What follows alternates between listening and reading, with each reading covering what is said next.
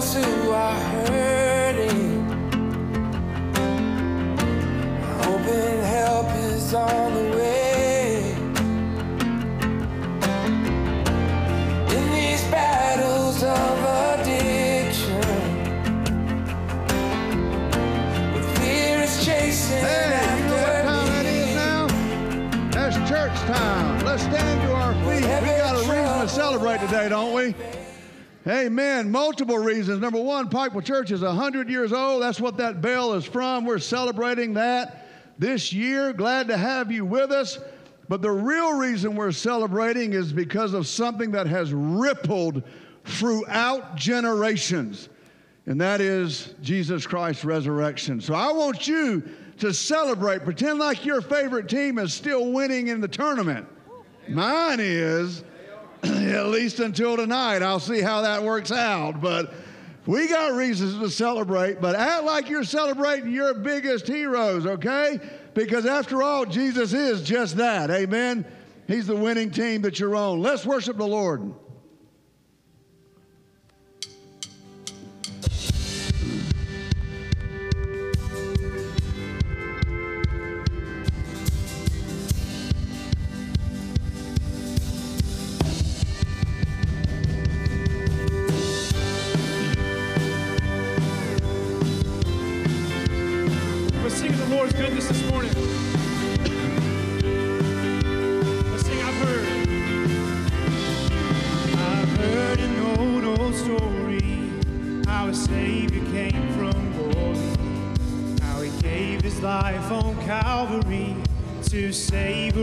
Like me. I've heard about his groaning, of his precious blood's atoning. Then I repented of my sins and won the victory. Victory in Jesus. Oh, victory in Jesus, my Savior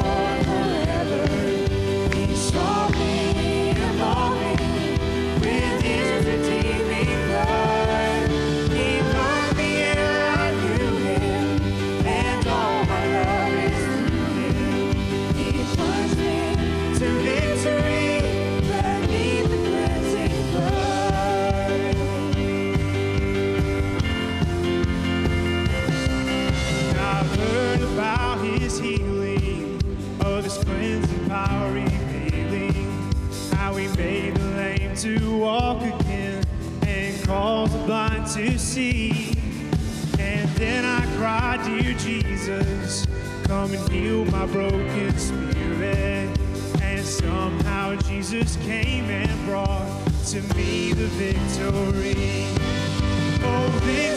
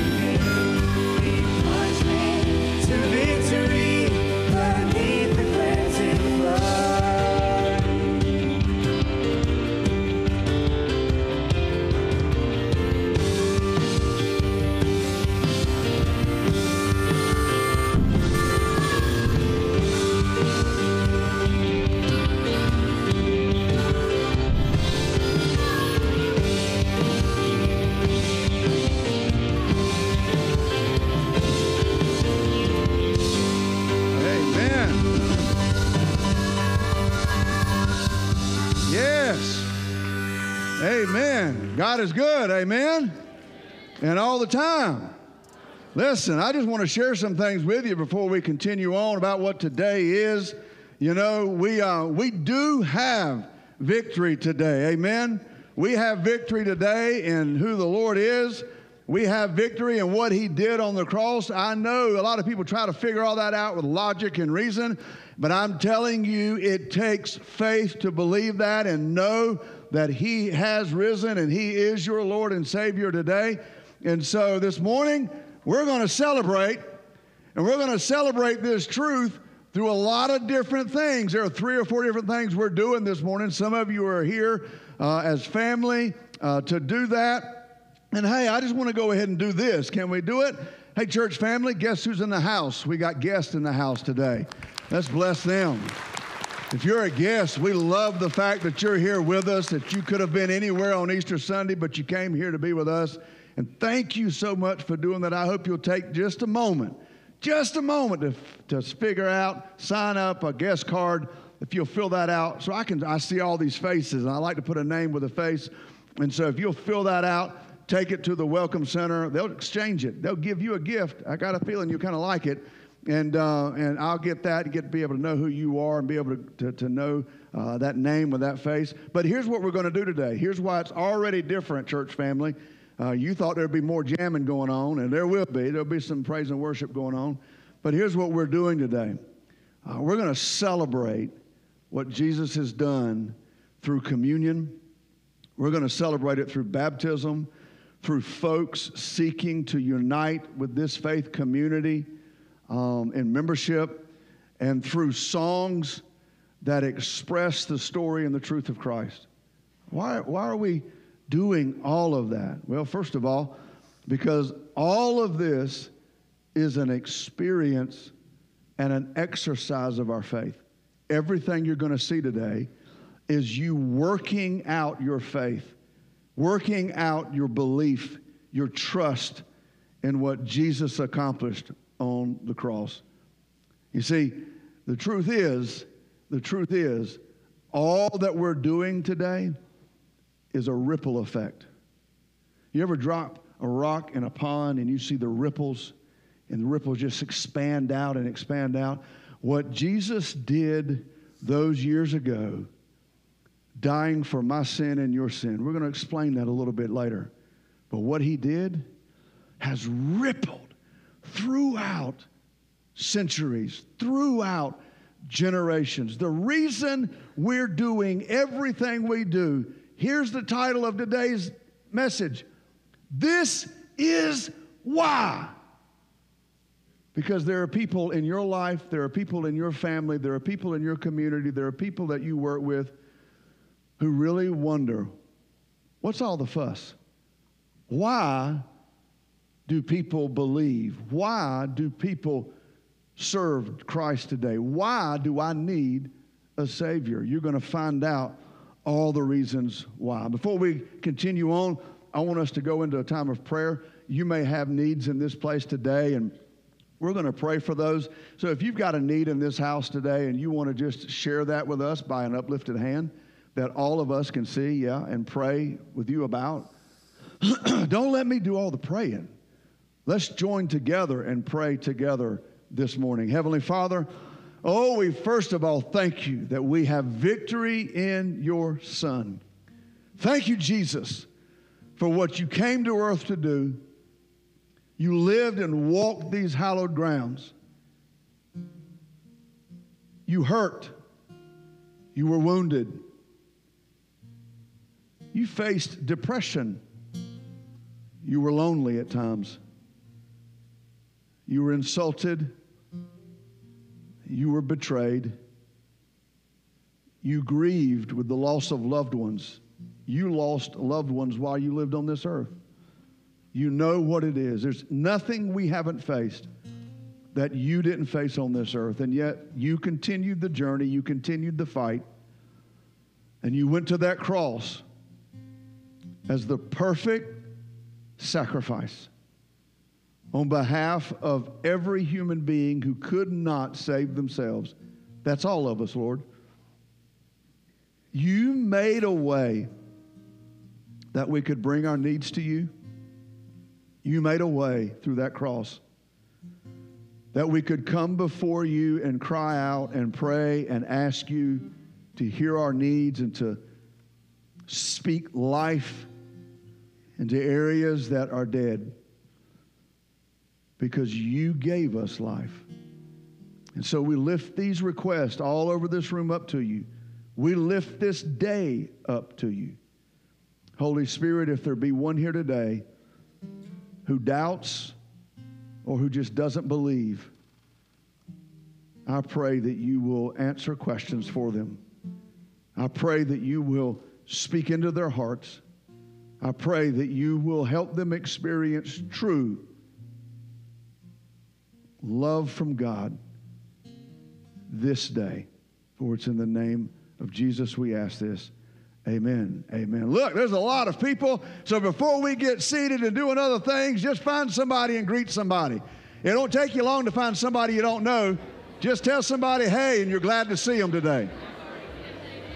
Come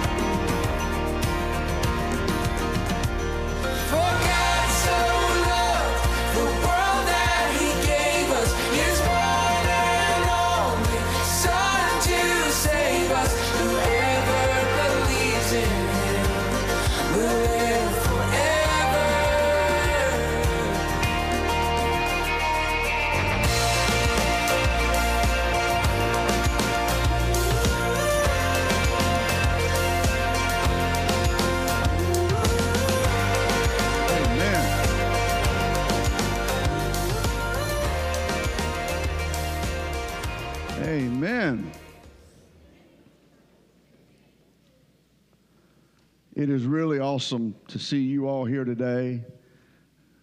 Glad to be with you today. If you're watching online, we're certainly glad you're with us today as well. Hope that all of that happens this day will open our eyes and our hearts to hear and receive. But I want to talk with you for just a few moments before we move on to some other things. Several months ago, when I'm praying and thinking about Easter, us pastors, we don't wait till the day of or the week of to think about it. We start thinking about it out a while. I really believe that the Lord gave me this three words. He said, I want you to tell my story as an explanation for these three words. This is why. This is why. There are a lot of people in a world today, it's not losing its mind.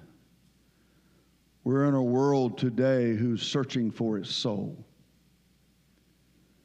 We're living in a country that is searching for its soul. Because how many of you know that a lot of times you can drift in life? You can move away from things that were really core value to you, important to you. And just with the worries and the, the busyness of life, you drift away from things that matter. And when I say drift away, I mean you drift away even believing those things matter anymore. And we are in a day and time when people all over the world are doing things, are, are living in ways that they're really and truly searching for their soul. Something that will calm the beast inside. something that will give them true, lasting peace, even in storms, even in the shadow of death. The world's losing its soul. Our country is losing its soul. And I'm not talking about religion. And I'm not talking, up, talking about political ideology. I'm not talking about cultural norms. I'm talking about the soul. The soul that's made to live forever. You're not just here for a hundred years or if, if that. You're to live forever. When you were born on this earth, it wasn't that you're going to die one day, and you're made to live forever. And the Bible tells us that He'll bind up our wounds, that He'll forgive us of our iniquities, but it's only the soul that He says He'll restore. For in Psalm it says, For He restoreth my soul. It's the soul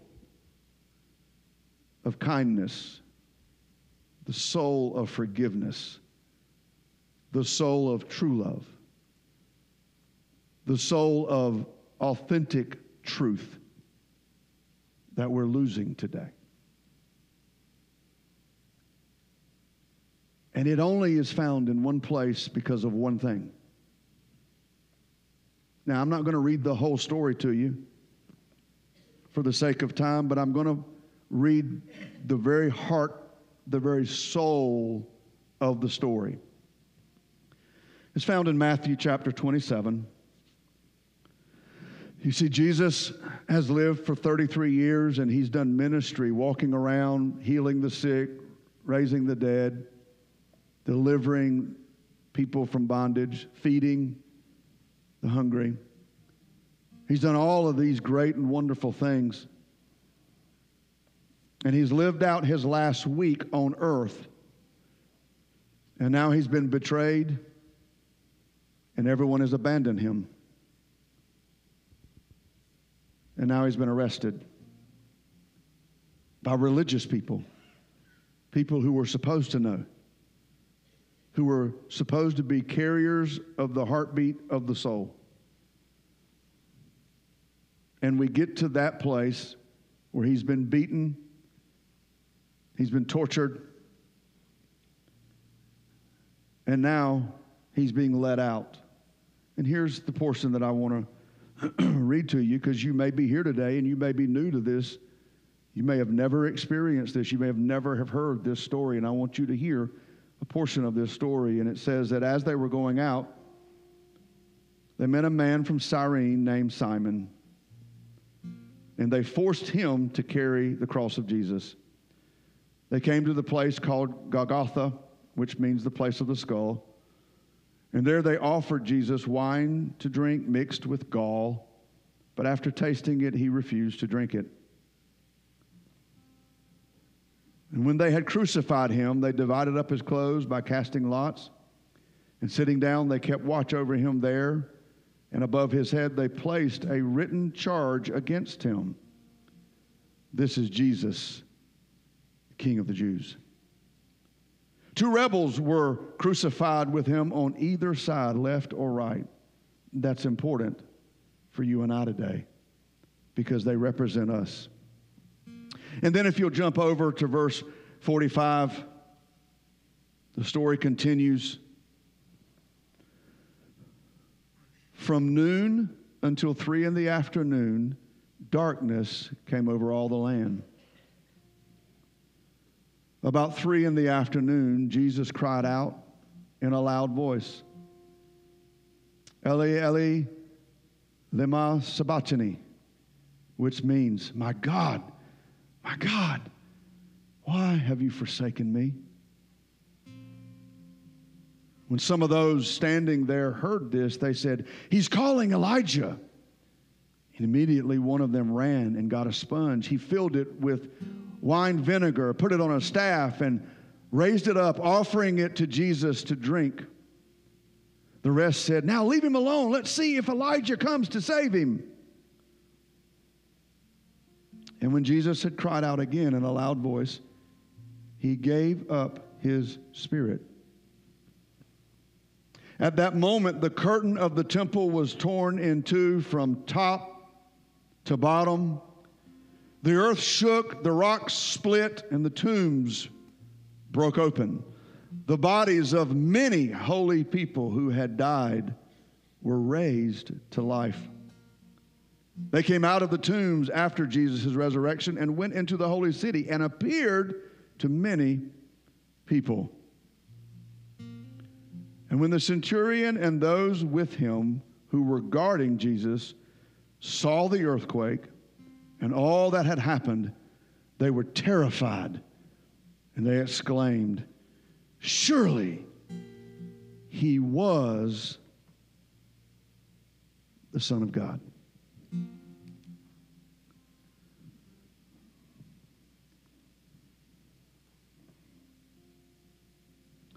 As soon as I read that a few weeks ago, I'm a Christian, giving my heart and life to the Lord. I'm a pastor. I'm a human being. And I had this question just a few weeks ago.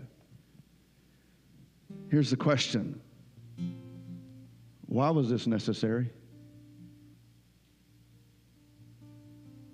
There's a lot of people out there who aren't a Christian, who don't believe, or who struggle with the faith to believe that this is a true story.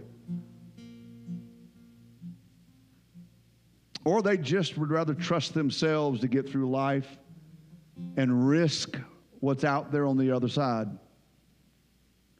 Or they just are just selfish people. They don't, they don't want to give their heart to anybody. They just want to whatever they can get for themselves. Whatever their reason is, everyone wrestles with the question why was this necessary? Jesus explained why during the Passover supper that he shared with his disciples the night before he was crucified. Throughout his ministry, he gave what I call timeless truths. In other words, you might try to rationalize them away, but they're timeless. Your logic will disappear before these truths disappear.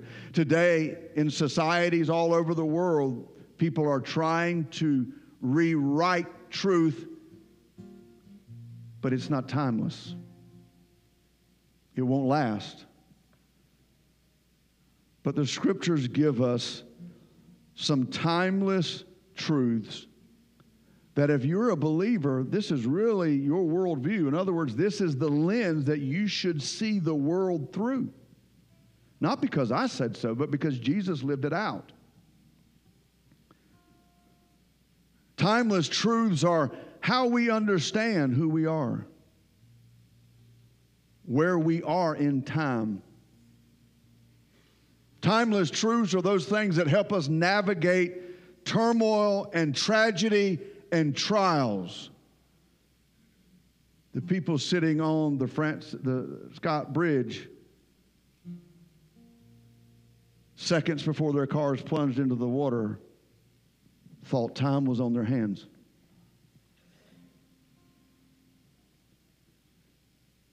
And even though they plunged in that water, I can tell you today, without ever seeing a face or knowing a single one of them, that if any of them knew Jesus as their Lord and Savior, the timeless truths of the Scripture saved their souls. A couple of timeless truths to share with you today are first of all, there is a divine and sovereign God. I know that might rustle some of his feathers, but the Big Bang didn't happen. There was a craftsman, a master craftsman who crafted by the very breath and voice of his lungs the beautiful playground called the earth. And he dotted the skies with the stars and the sun and the moon. And then he formed man out of dust and took woman from his side to be his helpmate. He is sovereign. He rules over everything in creation. Jesus, as a second timeless truth, Jesus Christ was and is his son. And he came to earth to live out before us God's love. He wasn't here to judge people, to belittle people, to cause division in people. He was here to live out God's love in good times, in bad times. He wanted to show us the kind of love we could experience. Here's, a, here's another timeless truth that love extends beyond just meeting our material needs. It extends to meeting the spiritual needs that we cannot fulfill within our own selves. That's how deep and how wide and how far his love goes. You see, he met their needs. He fed them, he clothed them. We can do all of that. We can meet our own natural needs. We, we don't need God to meet our natural needs. The earth is here. Now, He put it here. Creation is here and all the plants and things that we do. But, but we, can get a, we can get away with it for a little while, meeting our own needs naturally. But there comes a time where we need Him, whether it's disease in our bodies, whether it's something that our body just can't carry and our soul is still trying to carry it. The bottom line is, Jesus came to show the kind of love that says, I can carry into the deepest needs you have. And every person in the sound of my voice has the deeper needs that go beyond physical needs. It goes beyond your physical hunger, it goes beyond your need for sleep, it goes beyond your need for friendship. There is a deeper need in the depths of the soul of each of us. And the timeless truth is, Jesus' love touches those needs. He can give us what we need beyond what the world has. Another timeless truth is, and I know you've all heard it if you've ever been in church, but where every day closer is every day closer. Jesus will return to earth one day to fulfill he made many promises. The night before he was tried and crucified, that night, he made a promise. And it's because of that promise that we continue throughout generations. It had a ripple effect from generation to generation, and we continue throughout generations to carry this out as an example of the belief in the promise that Jesus gave that night. This is why we continue to celebrate communion today. Now, I want to ask you if you're here today, the scriptures simply say this that all are welcome to receive communion if Paul teaches in Corinthians that there were some folks who were dishonoring communion. There were some folks who didn't understand what the Last Supper, what communion represented. There, there were just people who just didn't, they just had a lack of knowledge. And so Paul explained that knowledge. He simply said this All are welcome to take communion, but if you do not know the Lord as your Savior, he says, it's the better part of wisdom that you not take communion, lest the curse come on you. Meaning that you take it under false pretenses is lying. But here's hope if you're here today and you, you're not a Christian. Paul goes on to say, so that all men could take communion, could participate in this act, he said, Take a moment and search your heart. Search yourself and ask, Lord, is there anything in me that I need to give to you and ask you to forgive me of? If you have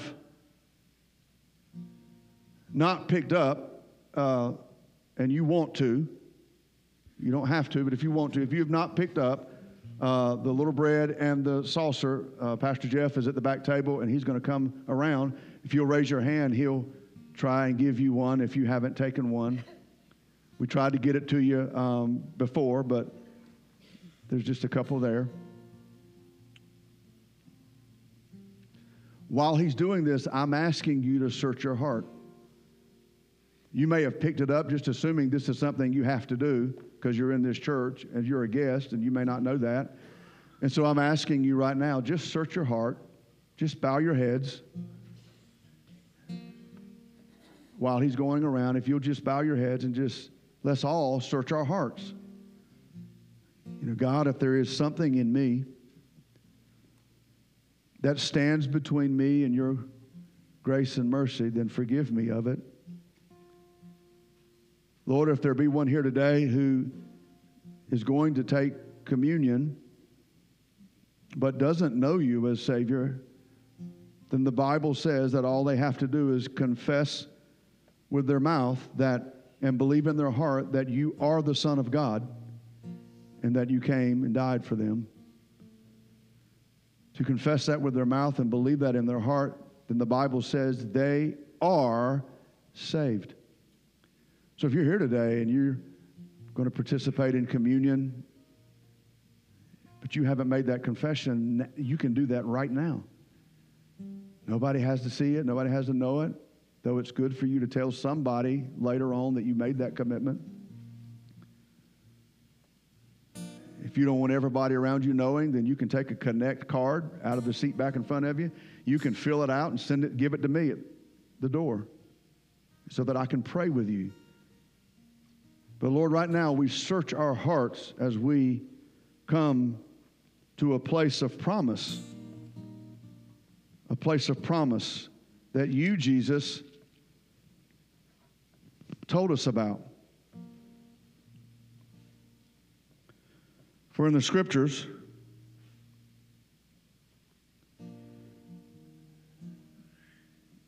in Matthew chapter 26, beginning in verse 26, here's what the scriptures teach that Jesus Jesus is having a last meal. It's a Passover meal. They didn't know it was their last meal with him. But they were celebrating Passover, a Jewish festival, and they were eating together. And during this meal, Jesus simply shared this. While they were eating, Jesus took bread, and when he had given thanks, he broke it and gave it to his disciples, saying, Take and eat, for this is my body. So if you don't mind, just, just raise up your bread. I'm just being symbolic in what Jesus did. And let's pray. Lord, we thank you for what this means, for what this bread means, for its symbolism and its significance to us. We thank you, Jesus, that your body was broken for us. Take and eat.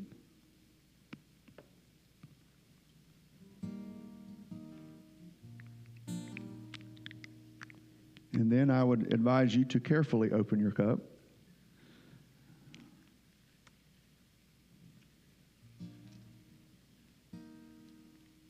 And then it says, He took the cup, and when he had given thanks,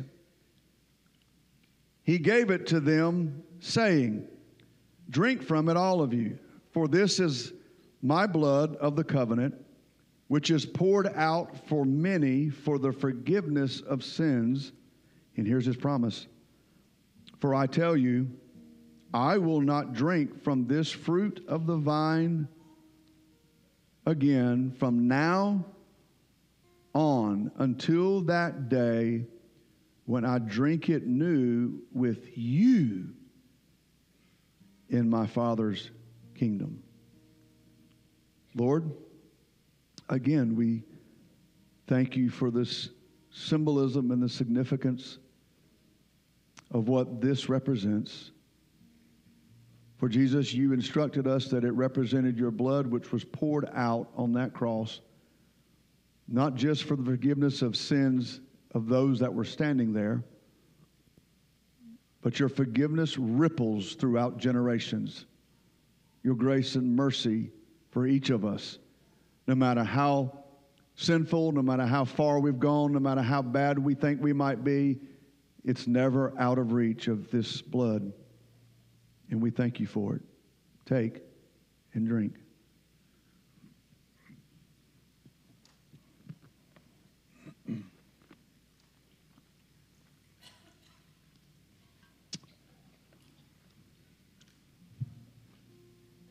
I want you to stand.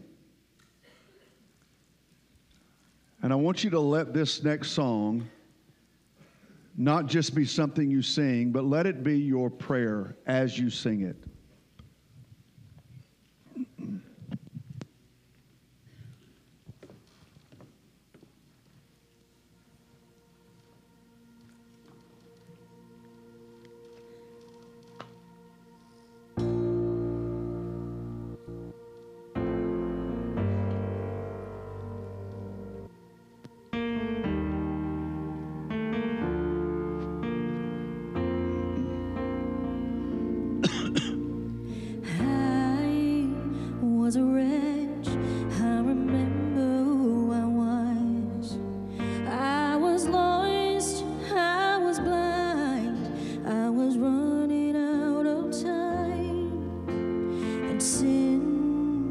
Sin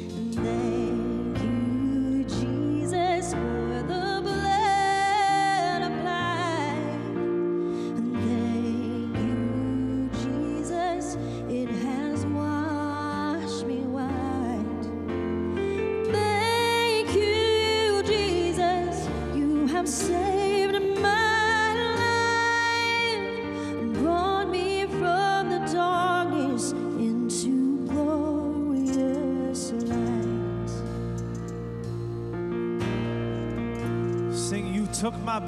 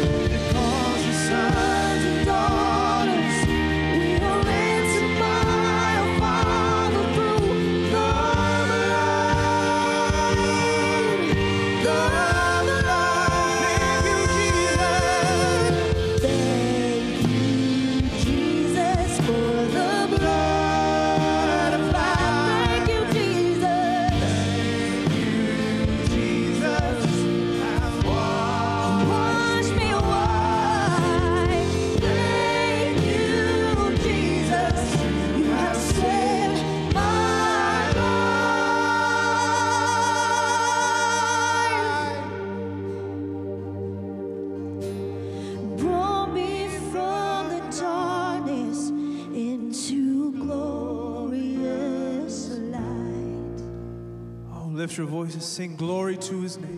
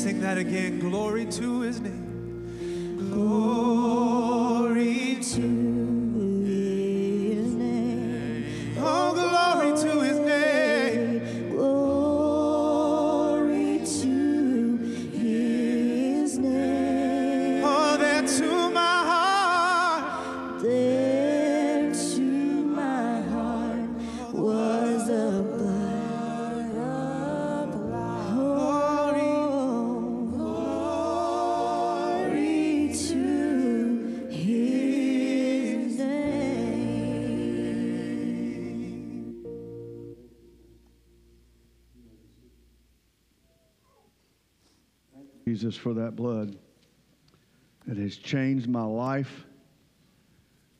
I still stumble. I still have to work through things. But He changed the way I fight through the trials and tribulations of life. Amen. I read earlier in Matthew 27 about the cross, about Jesus being crucified, nailed to a cross and it revealed what Jesus did in our place. I want to share with you a couple other things, timeless truths. I've shared with you three or four up to now. Let me share just a couple of more.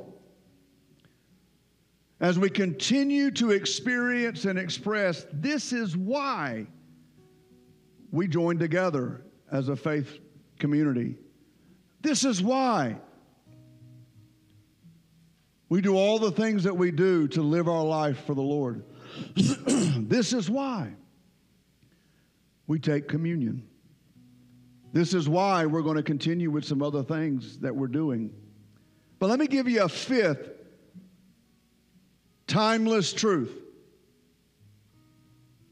I don't care how you justify it. I don't care how you try to deny it. Sin has deathly consequences.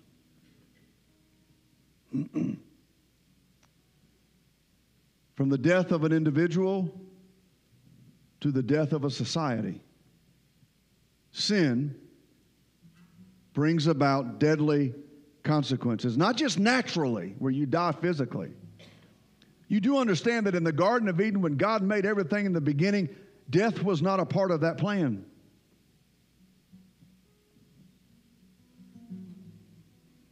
But sadly, the deadliest consequence of sin is an eternal consequence. It's something you can't come back from. You see, Jesus made a way that we could come back from anything as long as we're here on this earth. He made a way that no matter how much you crashed and burned in life, no matter how much you screwed things up, no matter how much you really messed up life or people messed up life for you, Jesus made a way that you could always come back from that. No matter what man thought or how they judged you or saw you, you can always have a fresh start here on this earth. But there comes a time when the consequences are irrevocable. Do you know that people who are in heaven today and people who are in hell today have two things in common? They don't share anything else. World life is completely different for them in those two places, but they share two things. Number one, they both had plenty of opportunity to have their life changed by the truth of Jesus. And number two, God still loves those that have made their own choice and went to hell, just like He loves those that are in heaven. Think about it. If you're a parent, especially if you're a parent, you're in your 60s, 70s, 80s, or whatever, and you have a child who is an adult child who they grew up and they know your love, they, they knew your, your care for them.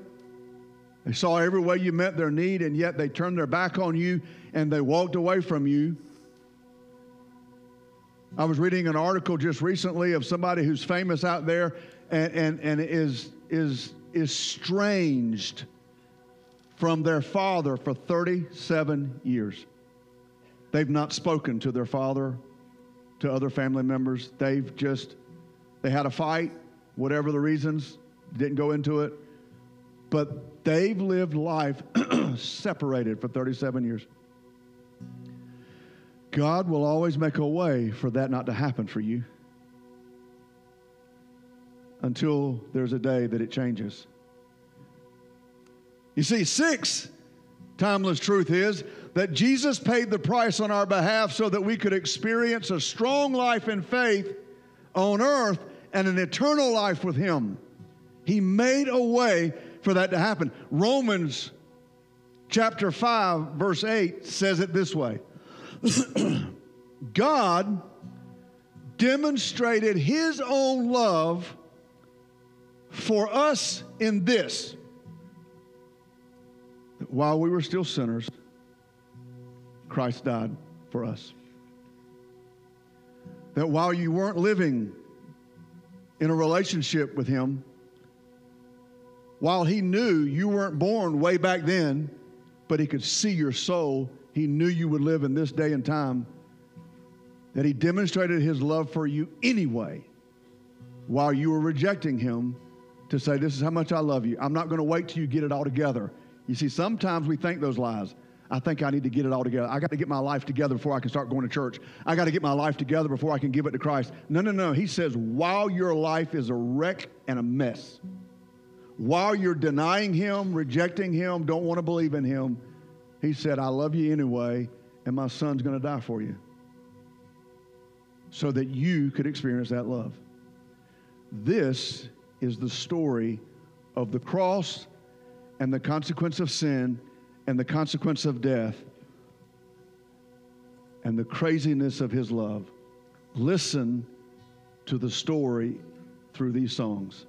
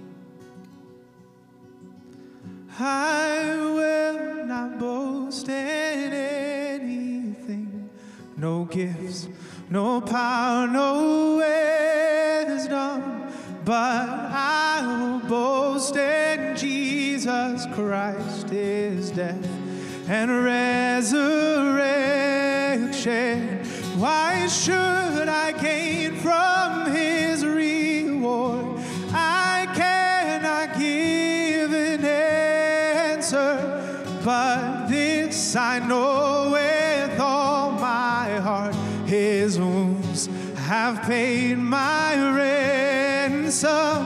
Why should I gain from his reward? I cannot give an answer, but this I know with all my heart his wounds have paid my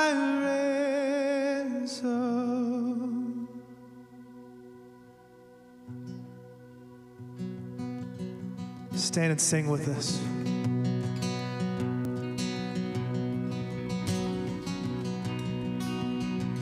Sing alone in my sorrow, alone in my sorrow, and dead in my sin. Lost without hope, with no place to begin. Your love made a way to let mercy come in. When death was arrested and my life began, oh, ash was redeemed. Ash was redeemed, only beauty remains. My orphan heart was given a name. My mourning grew quiet, my feet rose to dance. When death was arrested and my life began. Oh, your grace, oh, your grace, so free washes over me. You have made me new. Now life begins with you. It's your endless love pouring down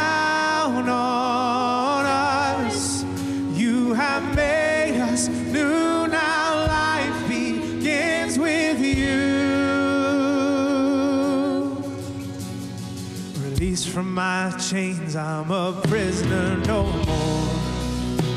My shame was ransomed faithfully. He canceled my debt and he called me his friend. When death was arrested and my life began. Oh, your grace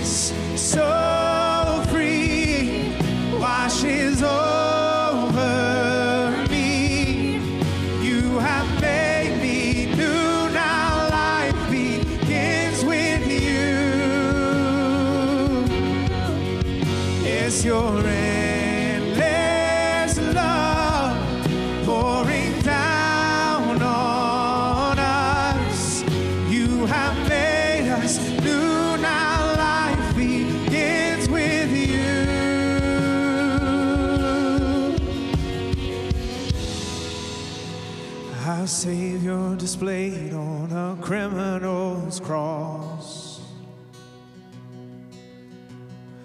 Darkness rejoiced as though heaven had lost. But then Jesus arose with our freedom in hand. That's when death was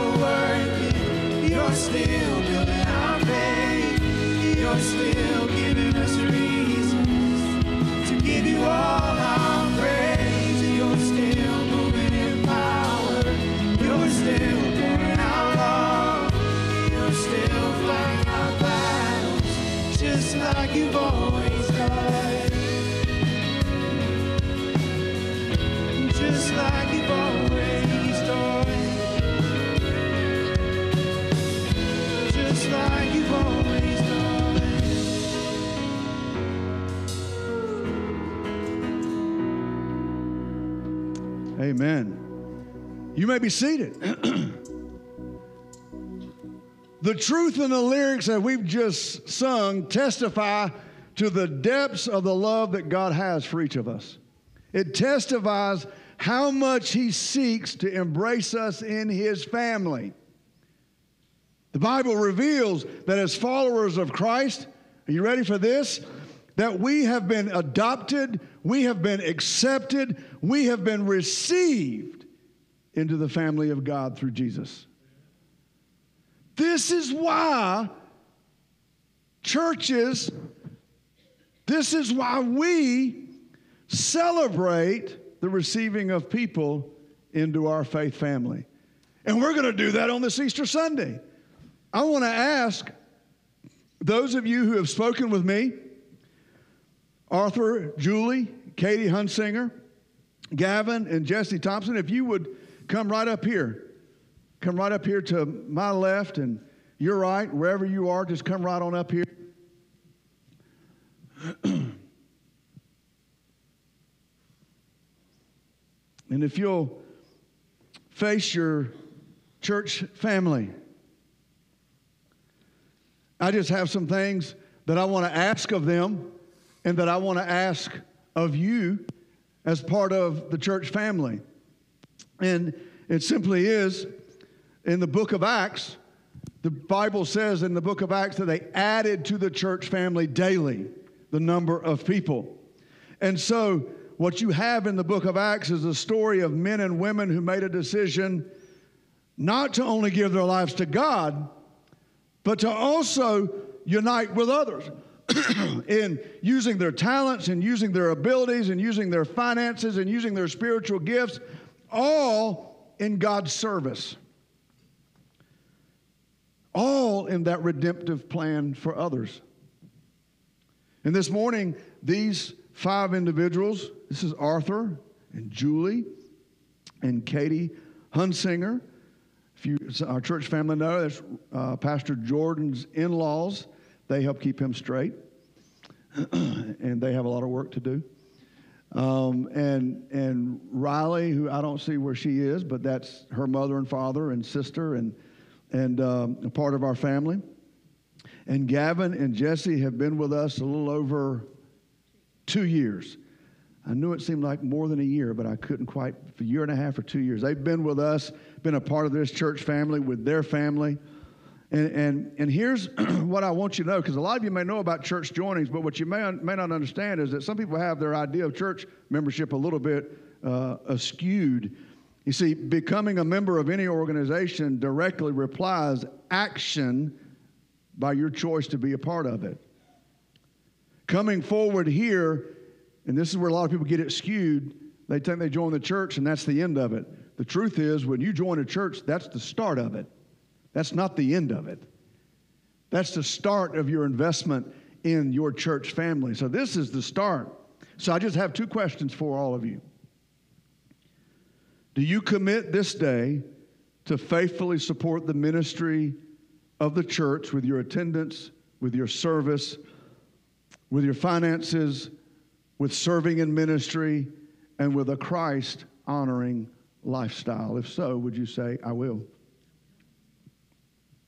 Do you commit this day to faithfully support your church family through encouragement, through prayer, through sacrificial acts of love, and in the one that we all mess up a lot of times in your daily conversations? Do you willfully support your church family in these ways? If so, say, I will. Hey, church family, even our guests, I know you may be a lot of guests here today, but, but uh, you can be a part in this. And I just simply have a question mirrored like those for my church family. Do you, church family, commit this day to faithfully supporting each of these new family members through encouragement and prayer, sacrificial acts of love, and in your conversation? If so, will our church family say, I will? I will. I want to pray over you to confirm the fact that just as Jesus made a way, as Paul says, to graft us into his family, he made a way. This is why we do this. Jesus made a way for you to unite with this church family through thick and thin, through tough times and not through times that you disagree with family members. You all, we all have that. You may not even like the fact that I'm wearing a bow tie today. It's new to me too. But I do what my, my ladies say most of the time. You may say, hey, you're supposed to be without any tie. I disagree with it. Can we, can we love each other? Can we respect each other? Can we attempt to understand each other and yet disagree? You can do that despite what our country says us. I'm not going to get there. But I want to pray for you. Will you join me, church family, in praying for them? Lord, I thank you for Art and Julie, Katie. I thank you for Gavin and Jesse. I thank you that they've been such a part of this church congregation that they came to a place in life where they said, you know what, we want to we want to dig our roots in deep here. We want to let God use us to be a faith raiser of people in this church family. God, I thank you for each one of them. I pray that you will bless them. I pray that you will strengthen them. I pray that you will whisper into their hearts and lives areas to serve and to elevate their church family in the days and weeks ahead. And may this church family follow their commitment to pray and to serve with and love on these new church family members. And we ask this in your name. Amen. Amen. Congregation, would you give them a hand? You, you can, you can go.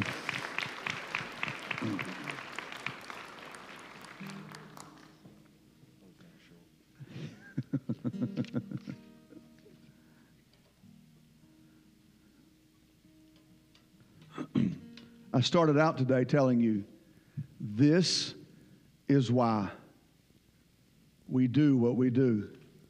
This is why we gather together. This is why we do the things that we do. We're about to do something different, and that's why all of these smaller kids have come in.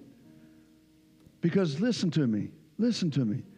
The scriptures, God taught his people in the Old Testament this. He said, Listen, talk about me, teach about me, live my ways out before your people. So that when they face trials, when they face tests, or when they just have the question, why do we do this? You'll be able to answer it with a full life, a full commitment, and a full belief in why you live and do the way you live and do. And so, Matthew 28. I want to read to you one of the greatest days in all of human history. I say one of the greatest because I believe the greatest is yet to happen. One of the greatest is when King of the universe left heaven and came to earth, fully man, fully God, and was born as a babe to a virgin and, and was raised by parents, earthly parents, the Son of God. That was one of the greatest days in all of human history. It ripples today throughout all generations. Was when Jesus was born, the Christmas story. One of the other greatest days of all time is what I'm about to read to you today. And then Revelation 22 tells us that the greatest day in human history is yet to come. For the greatest day in human history is when he returns, when the earth will shake from equator to equator, when graves will burst open, when the seas will give up its dead, when those who've been missing will be found, and the skies will split, and the heavenly host come to this earth. Oh, don't be afraid of that.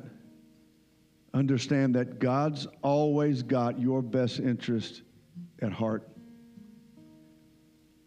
But the second greatest day in all human history happened.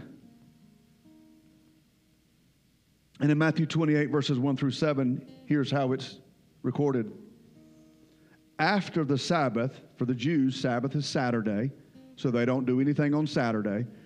After the Sabbath, at dawn on the first day of the week, which would be Sunday, Mary Magdalene and the other Mary went to look at the tomb.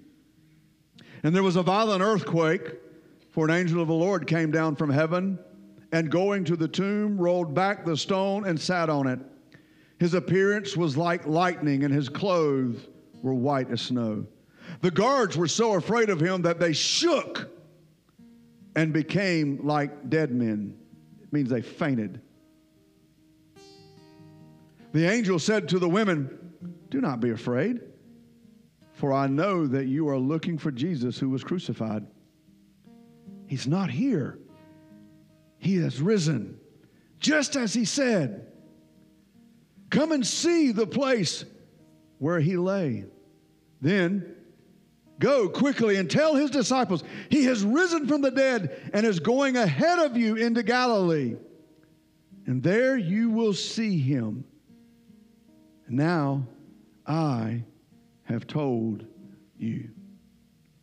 You see,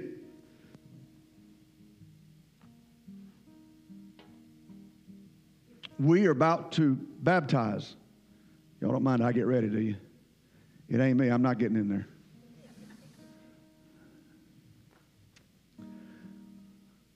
Every time we announce baptism, we announce it two or three months, and we do it about four or five times a year, if not more.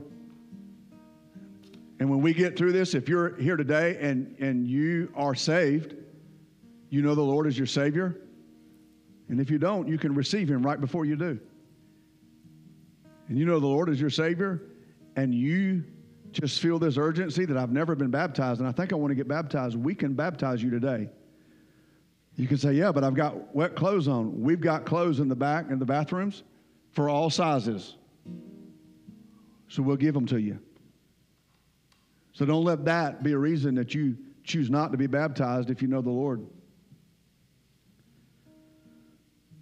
But this is why we do water baptism. You just heard me read it to you. Let me give you the symbolism here of the death, the burial, and the resurrection of Jesus and what it means here. I'm always intrigued when we start announcing who's going to get baptized, who decides to get baptized. And today, I've got some exciting, we've got three young people, not old people, not people who've been around and, and you know, just been in church all their life. We got three young people who somewhere in their walk, in their time, they've said, you know, I want to do this. I want to show my friends and family that I, as a child, believe in what Pastor Mark is talking about today. And so here's the symbolism that we're talking about here today. When they get into the water in just a second, when they get into the water, that represents the death of sin in our lives. It's the stance prior to burial. They're just walking along in life in their sin. But then, when they get into the tub and they sit down and we lower them into the water, that represents burial. Like when they put Jesus in the tomb, they buried him in the tomb, they put him into something, and death took over for just a split second. And then when they come up out of the water, it represents, it symbolizes resurrection. It's a cleansing. It's a new life, washing away the old ways and the promise of something different. Jesus coming out of the tomb meant we have new life, something different through faith in Christ that we couldn't have any other way. Yeah, we're still in the old flesh, but He can change us. He can change that. He can change the way you live. He can change the hopelessness and the uh, shame and the guilt and all of the failures that we feel. He can change all of that. And baptism is just simply a symbolic way to declare to family and friends I've received Christ. I'm dying to the old way I live. So I want to ask if Holden Sauls, Pearl Hobbs, and Arlie Kirby will just come right here and get in the line. Dave, if you want to come, just stand right there, and Pearl will be behind him, and Arlie. And I would be stupid not to do this, so I'm going to go ahead and give permission because they're not going to ask for permission. You know, it's ask for forgiveness and not permission. But family, you want to come up here and be all up in their grill taking pictures, it's up to you. Okay? Just don't lean so far in you fall in because that's going to go viral. Okay? Promise you. It'll go viral. Um, so I'm going to ask Holden, Jeff, if you'll come around with the microphone, Holden, if you'll come in. If you'll turn and face, come down in the water. Yep, all right, and turn and face. Jeff, you, you tell them who you, what your name is. Holden Sauce, Holden Sauls. How old are you? 10. 10.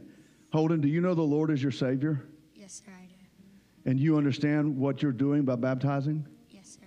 Okay, then you can be seated.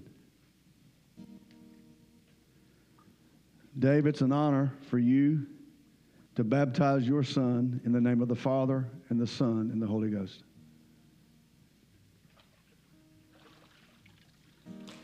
Yes, praise the Lord.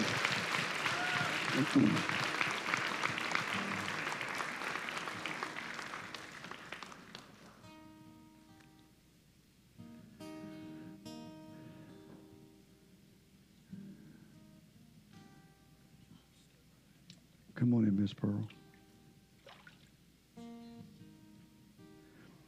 Will you tell everybody your name? Pearl Hobbs. Pearl Hobbs. Now, some of y'all recognize that last name, don't you? It's Miss Connie's grandchild. If you don't know, she's smiling big, got her whole camera up here like she's on Channel 5. Uh, and Curtis, I know that there's a man named Doc who's watching this, and he's smiling real big. He'd be pushing me out of the way saying, I want to baptize her. Tell everybody your age. 12. Do you know the Lord is your Savior? Yes. Then it is my privilege, if you'll sit down, to baptize you in the name of the Father and the Son and the Holy Spirit.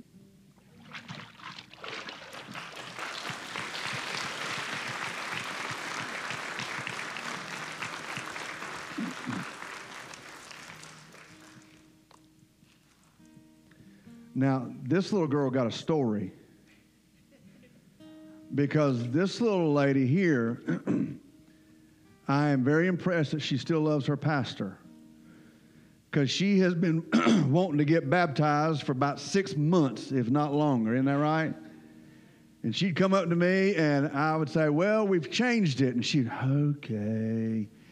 Or something would happen and she had to be gone and couldn't be here on the Sundays that we had baptism. And she would come up to me regularly saying, When are we going to have another one?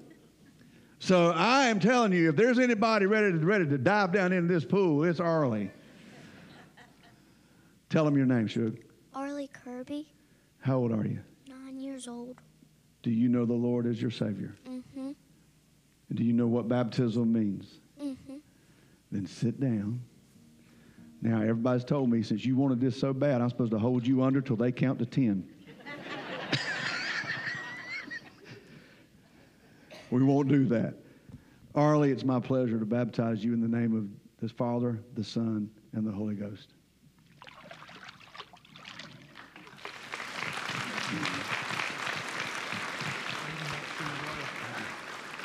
This is what you call spontaneous.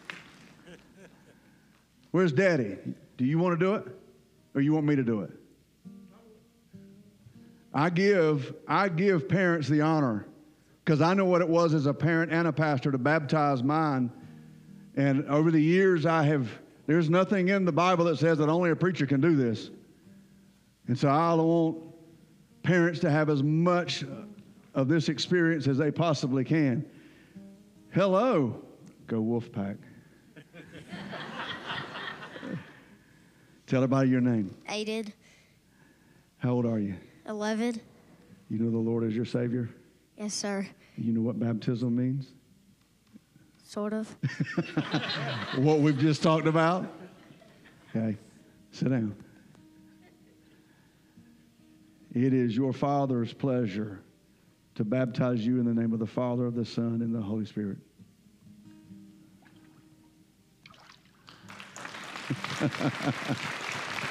All right. You may be here today and you know the Lord is your Savior, but you've never been baptized. I'm going to give you a second. If you're here and you want to get baptized, we'll baptize you.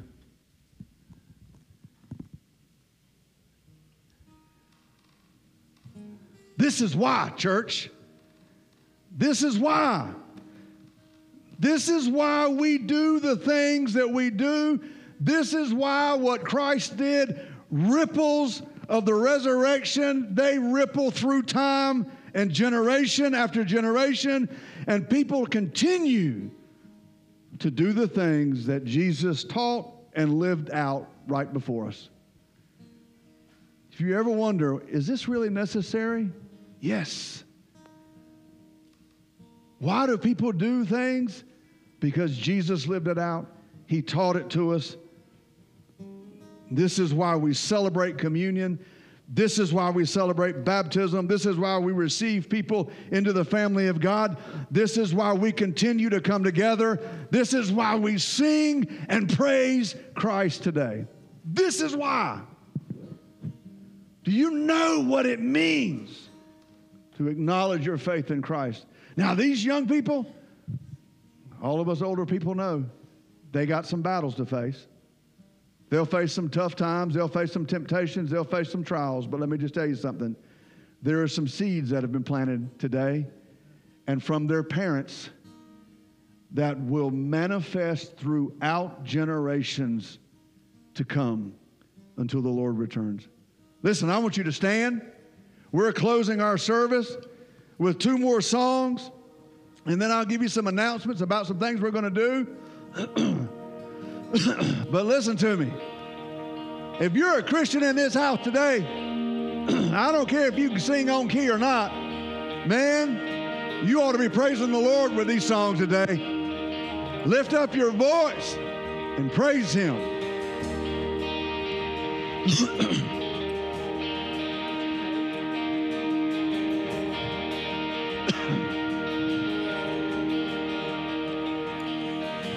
Saturday was silent, surely it was through. Since when has impossible ever stopped you? Friday's disappointment, Sunday's empty too. Since when has impossible ever stopped you? This is the sound of dry bones rattling. This is a praise make a dead man walk again. Open the grave, I'm coming out. I'm gonna live, gonna live again. This is the sound of dry bones rattling.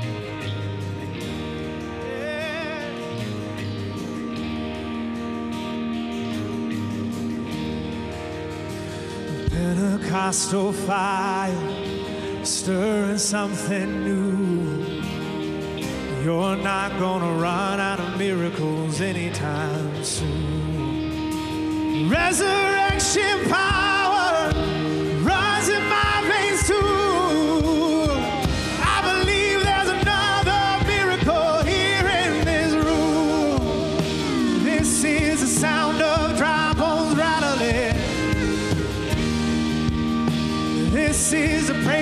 dead man walk again. Open the grave, I'm coming out. I'm gonna live, gonna live again. This is the sound of dry bones rattling.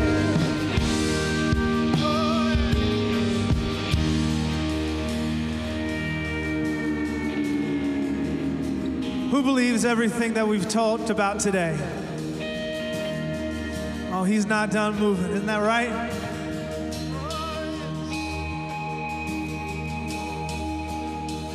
My God is able to save and deliver and heal and restore everything that He wants to. Just as a man who was thrown on the bones of Elijah, if there's anything as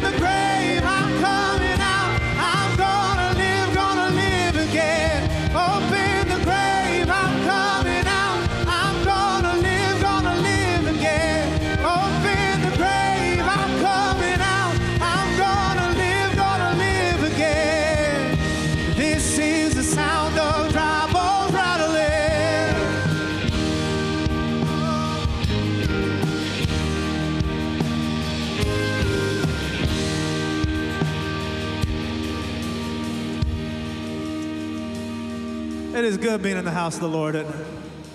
Oh, man. God, we just thank you for this day. We thank you for the resurrection of your Son, God, and for the promise of eternal life with you if we believe. Thank you for the joy that comes with it, a joy beyond understanding. Today, as we sing this last song, I want that joy to well up, and I want you to sing and I want you to celebrate because He is alive. Amen? Amen. Let's sing.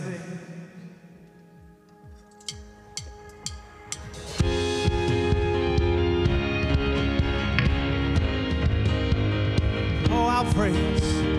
Praise in the valley, praise on the mountain. I'll praise when I'm sure, praise when I'm doubting. Praise when outnumbered, praise when surrounded. Cause praise is the water my enemies drowning. As long as I'm breathing,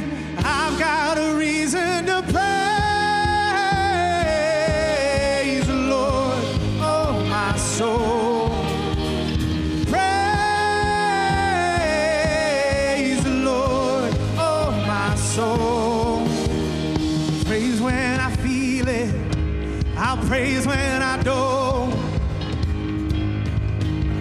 I'll praise cause I know you're still in control. Cause praise is a weapon, it's more than a sound. My praise is a shout that brings Jericho down. As long as I'm breathing, got a reason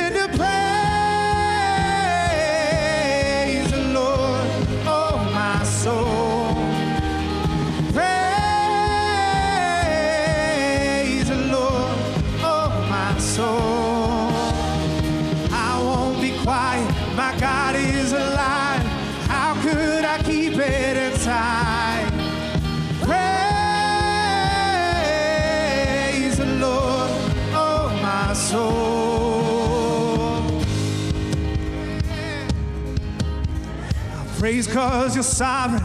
Praise cause you reign. Praise cause you rose and defeated the grave. I'll praise cause you're faithful. Praise cause you're true. Praise cause there's nobody greater than you. I'll praise cause you're sovereign. Praise cause you reign. Praise cause you rose and defeated the grave. I'll praise cause you're faithful. Praise cause you're true. Praise cause there's nobody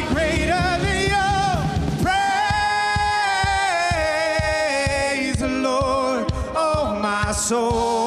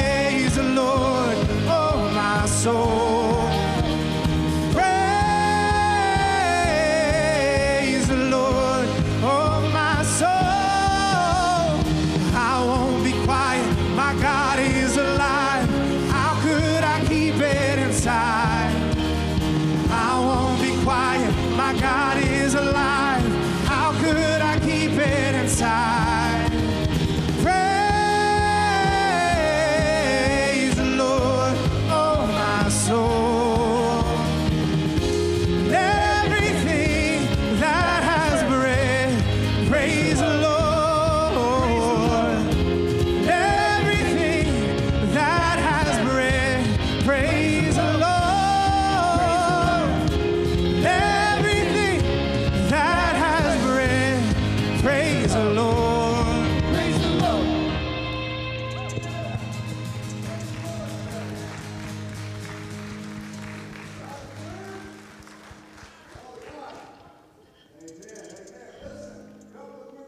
I'll let you go. Uh, please, if you're a guest today, I'd really love to put a name with a face. Take a moment to fill out the guest card. Leave it at the Welcome Center. They'll exchange it for a gift. If you want to partner with Pikeville Church in your tithes and offerings, you can do that online. You can do that through uh, mailing it in, but there are boxes and ushers at the back of the room that you can do that as well. And parents, you can pick up your children right here. Is this all of them? Are there any in the nursery or preschool? Is this all of them? It's preschool and everybody's here. Nobody in the nursery? There are some in the nursery, so if you got little kids in the nursery, but preschool and elementary is over here. And then, parents, you can take them outside the front doors and get ready for an egg scramble. Okay? They're gonna. There's all the eggs are out there in the front of the yard. They're, Mark and Donna will release them at the right time to do that. Before you go, tell somebody you were glad to be with them in the house of the Lord. You're dismissed.